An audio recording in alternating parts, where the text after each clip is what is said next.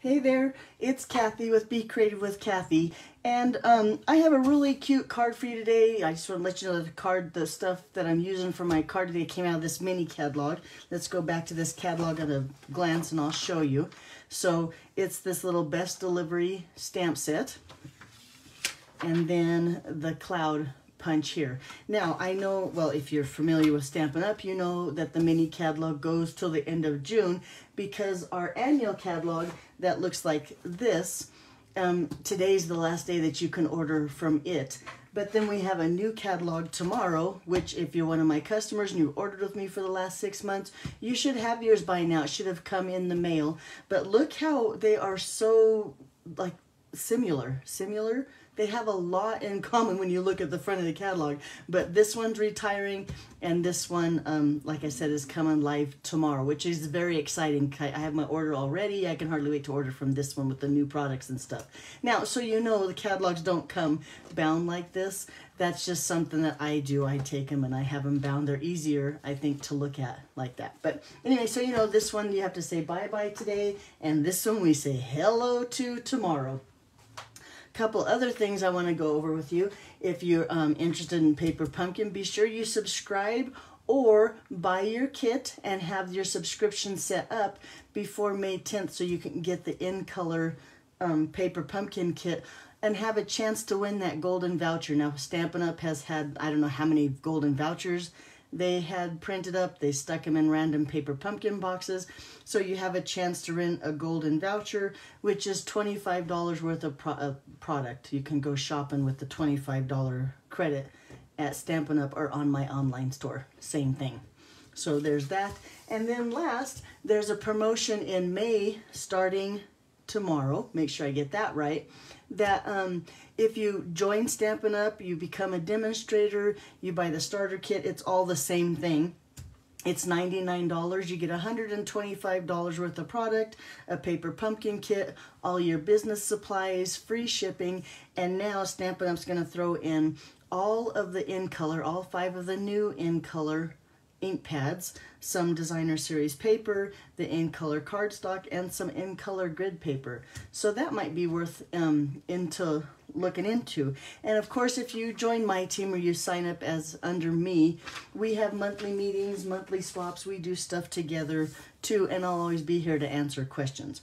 But let, us go on to our card. So our card looks like this, and boy, I think the lighting is terrible, but there, that's a little better. And I'll show you what not to do, what I made my mistakes, and what to do.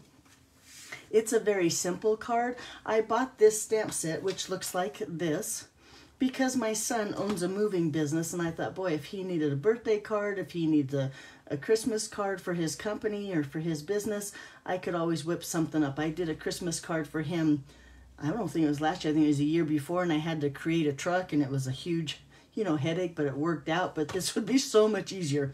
But let's let's get going. Okay, so we're going to start with this background piece here. And that is just a piece of balmy blue. It's um, five and a fourth by four. That's an easy measurement. If you want the measurements, of course, I would double check my blog because when I start talking, sometimes I say the wrong things. But on my blog, are the right um, measurements. That's becreativewithkathy.com. And there should be a link somewhere. If you're on Facebook here, it's probably up above. And if you're on YouTube, it's down below. I like to take my Facebook Lives and post them onto um, YouTube so they would be on both places.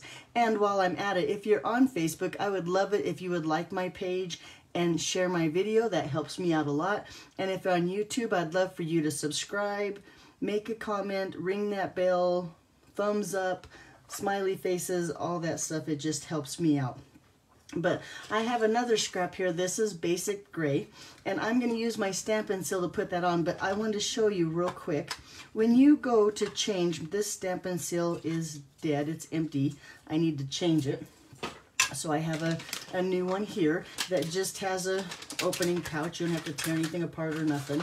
And you take your refill out but every time I put a new refill in, I always check up here at the top for like, can you see the sticky stuff that is stuck to my case? If you clean up your case a little bit every time you change your tape, it runs smoother. It doesn't have all this. There's There was a lot of gooey. I don't know if you could see it on there, but there's a lot of gooey stuff that you really can't see until you take that case apart and pick it off with your fingers like that. So now, if you do that every time you change your tape refill, which is very easy, see how it just slips on those little pegs there, but it'll make your um, tape run a lot smoother when you change it. That's just a quick tip. But I'm going to take my um, adhesive and just run it along, well now that I have a new one I got to get them started. There we go. Run it along the bottom here. About this, I know this is a fourth of an inch wide. Well, and it's going to be five and a fourth. I'm going to line it up here at the bottom like this so it's just exactly right. Make sure it's down really good. And then I'm going to just trim this to match the front of my card. So they're the exact same size like that. Okay, that's just a scrap. We don't need that. And then I have another little scrap here. And this one is one and a fourth inches wide. And we're going to cut this down so that they're one fourth inch. And I think we need about three of them. I'm going to cut four just to be, so I have enough. One, two, whoop, go away. Three, but these are going to make the little street markers of the white lines in the center, although they won't be in the center of our road for our truck here. Let's set that aside. Okay, and then I have another scrap here. Now this scrap I'm going to use to stamp my truck on, but I'm also going to just punch a couple of these clouds from this cloud punch, which I don't think I've used in a video yet, but I do love how simple it is to get some clouds with that simple punch. Okay, first thing I'm going to do is I'm going to just take my clouds with my tape runner here and just place those one up here mm, close to the corner and then just one over here. Got my little cloudy happy background. And then let me grab my silicone mat because I'm going to take and that side looks dirty this side looks a little cleaner. But I'm going to just take my little white strips here and run that tape. Now the silicone mat it doesn't stick to that and I can just kind of fold the tape over. Now I have tape all over the whole thing and I'm going to start off on this one. I don't think I did on that one, but I'm going to just set these so that looks like like the road, like the white, I don't know what they're called. What are those white things in the center of the road called? They're just painted lines to make you stay in your lane.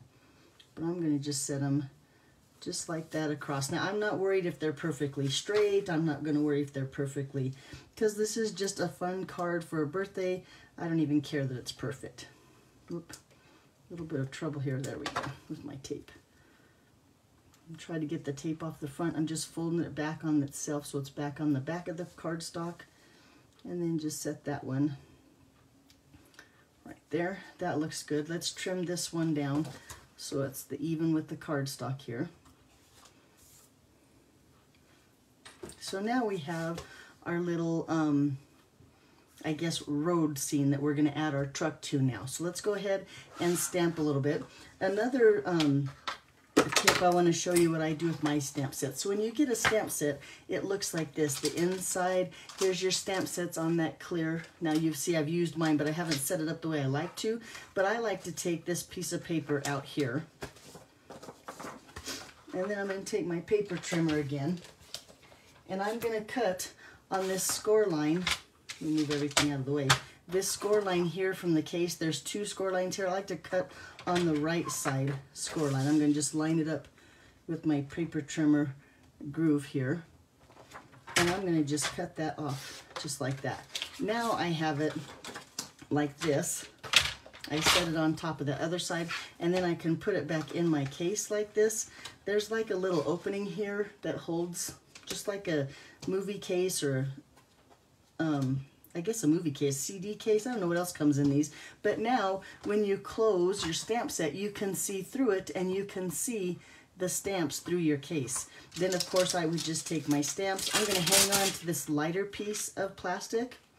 But you take your stamps and just put them how they go here. Now I'm going to take this little heart and I'm going to put it on a block because we're going to use him we're not going to use this little piece of what I call road. We are going to use this little balloon, so I'm going to put him on a block like that. Although I might change my mind on the block, and or I mean on the um, the balloon.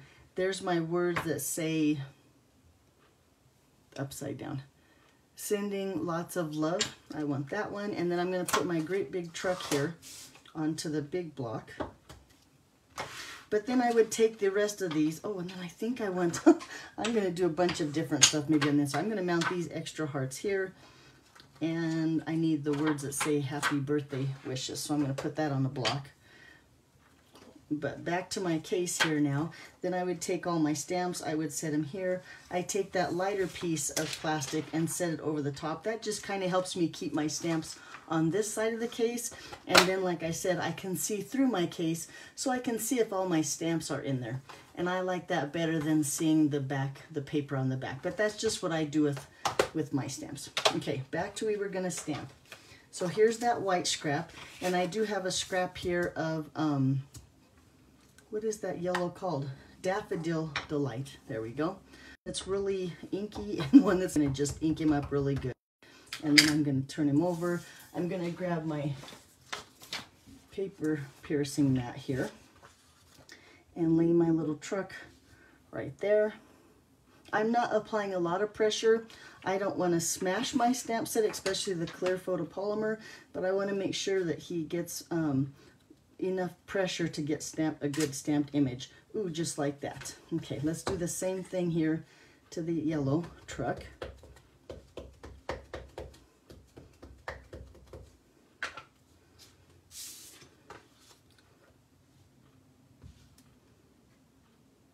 let that ink sink in, a little bit of pressure, make sure it gets a solid image here. Looks like that, yay. And then again with that black ink, I'm gonna take this um, Birthday Wishes, ink that up really well and stamp that down here in the center on the back of my truck. There we go.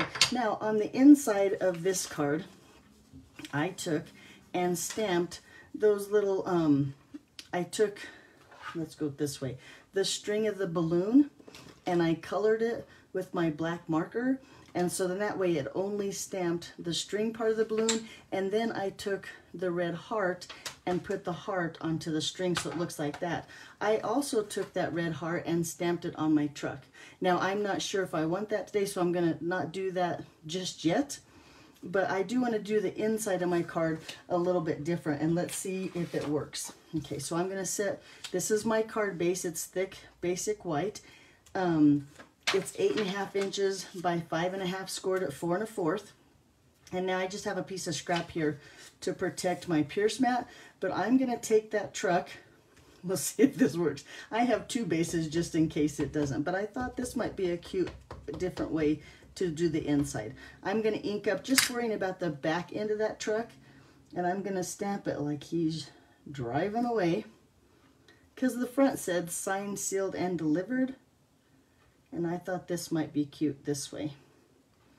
So there we have our truck. And really, I wish I would have put him a little bit further off of the truck or off of the paper.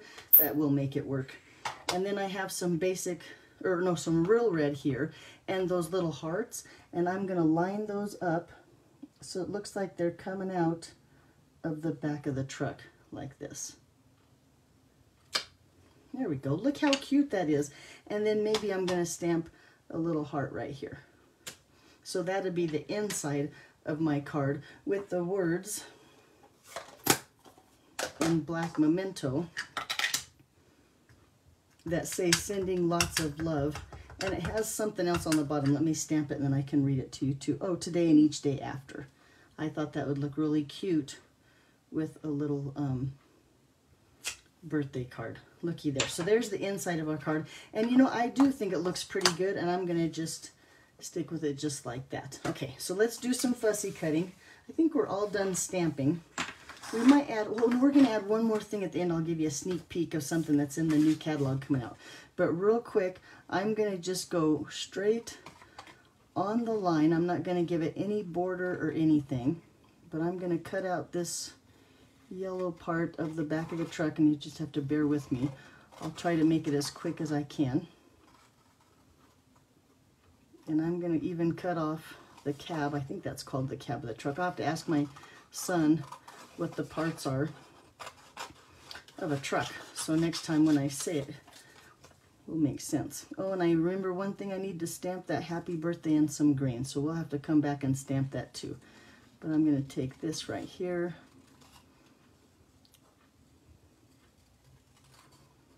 And now I have the yellow part of the truck.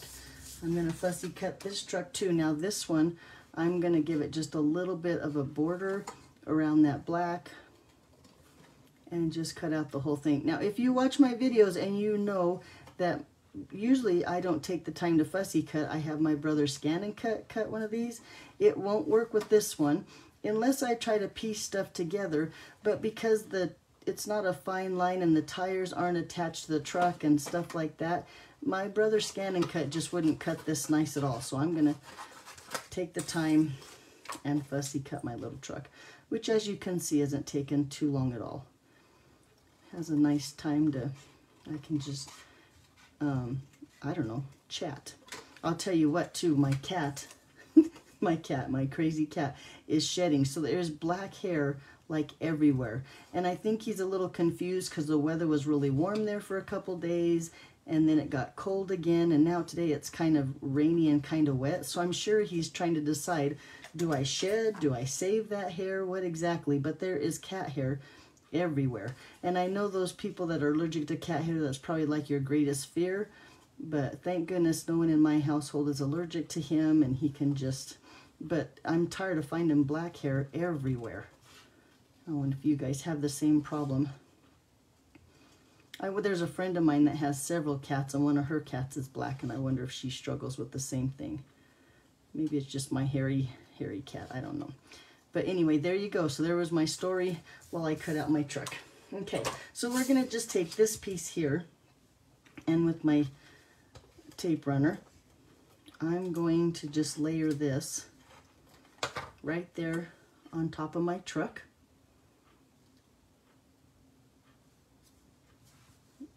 So now I have my truck and then just on a cup. Oh, and before I put it onto my card, I'm going to take my Stampin' Right blends. Now, no, not Stampin' Right, Stampin' blends. And I think I'm going to use this light blue here. And I'm going to just color that, whoop, not that tip. That tip is almost dead. I need to get new markers. I'm going to use this tip and just color that window in just a little bit so it looks like paint or glass on there. Now you notice on my sample card, and I think I said this before, I also stamped a little heart there. I chose not to do so on this card. But I did also take my Wink of Stella, and now you can see I took and colored my heart red and then my window and some of my red ink was still on the tip of my Wink of Stella. So make sure if you decide to um, stamp that heart and put a little bit of Wink of Stella in there, that you clean the tip of your Wink of Stella really good before you do the window here. But I think that little shimmer on the window even gives it more of a look of the, like a window pane. So there you go. There's my tip what not to do. Now we're going to take him and some dimensionals here just to pop him up a little bit.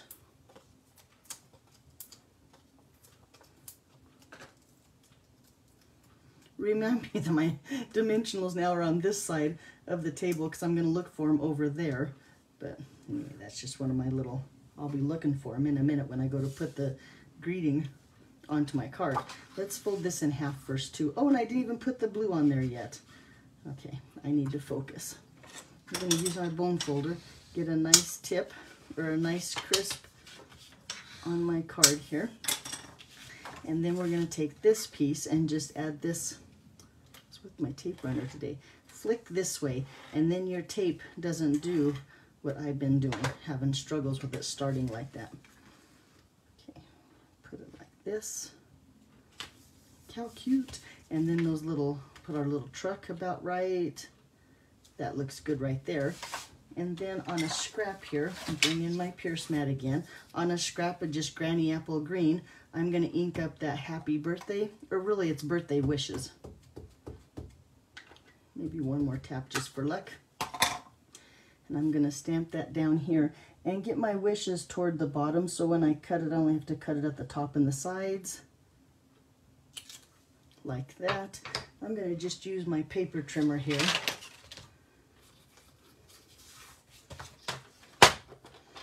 And cut that so it looks, let's cut it this way first, just off a little bit here at the end so it's not quite so long. And then just take my birthday wishes, that looks good, like that. And then again with my paper snips, which I have put what did I do? Oh, here they are. I'm going to just take a little bit of angle here, line this one this way, and this one maybe this way. And then, I don't know about you, but I think it looks a little bit too long here. I'm going to just trim off a little bit. I got a little bit too There we go. Like that. And take those dimensionals on the back of that.